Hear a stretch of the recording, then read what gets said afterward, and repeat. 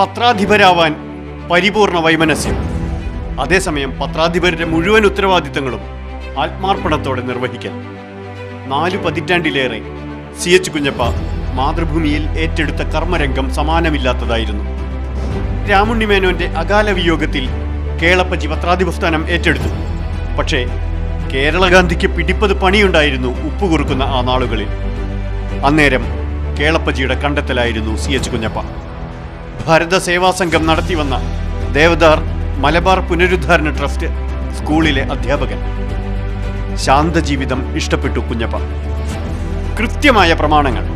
അത് പാലിക്കുന്നതിലെ നിഷ്കർഷ. എള്ളിട പോലും വിട്ടുവീഴ്ചയില്ലായ്മ. ഇതുണ്ടാക്കുന്ന അനിഷ്ടങ്ങൾ ഒഴിവാക്കാൻ സി എച്ച് കണ്ടെത്തിയ വഴി പത്രാധിപ സ്ഥാനത്തു നിന്നുള്ള മാറി നിൽപ്പ്. ആയിരത്തി തൊള്ളായിരത്തി മുപ്പത്തിയൊന്ന് ഡിസംബറിൽ സി കെ രാജ ഒഴിഞ്ഞു. അപ്പോൾ ഒരു സ്ഥിരം സബ് എഡിറ്ററെ വേണം. നാൽപ്പത്തിയഞ്ച് രൂപ മാത്രം ശമ്പളമുള്ള കീഴുദ്യോഗം. കുഞ്ഞപ്പ ഉടൻ സ്വന്തം പേർ നിർദ്ദേശിച്ചു.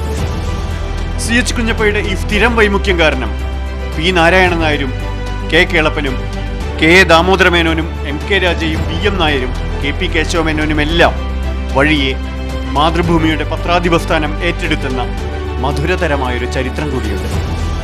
നിയമലംഘനം പ്രസ്ഥാനകാലത്തും ഗുരുവായൂർ സത്യാഗ്രഹകാലത്തും നിലപാട് എന്തെന്ന് കേളപ്പജിയെ തന്നെ ഉപദേശിക്കാൻ കുഞ്ഞപ്പ മടിച്ചില്ല. അതിശക്തമായ മുഖപ്രസംഗങ്ങൾ. വാർത്തകളെക്കാൾ എഡിറ്റോറിയൽ വായിക്കാൻ വായനക്കാർ ഇഷ്ടപ്പെട്ട കാലം. വിവർത്തകൻ എന്ന നിലയിൽ അദ്വിതീയൻ കുഞ്ഞപ്പ. നെഹ്റുവിന്റെ ഇന്ത്യയെ കണ്ടെത്തൽ രാജേന്ദ്രപ്രസാദിന്റെ വിഭക്ത ഭാരതം തുടങ്ങിയവ അദ്ദേഹം പരിഭാഷപ്പെടുത്തി.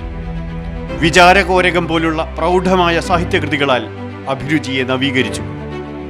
വലിയൊരു ജനാവലി ആ അന്ത്യയാത്രയെ അനുഗമിച്ചു. മാതൃഭൂമിയിൽ നിന്നുള്ള യാത്രയപ്പ് വേളയിൽ സി എച്ച് കുഞ്ഞപ്പ പറഞ്ഞു പത്രപ്രവർത്തനത്തിൽ ഞാൻ നിശിതമായ വിമർശനം നടത്തിയിട്ടുണ്ട്. അപ്പോഴെല്ലാം അതിന് ശരവ്യരായവരെക്കാൾ ഞാൻ വേദനിച്ചിട്ടുമുണ്ട്.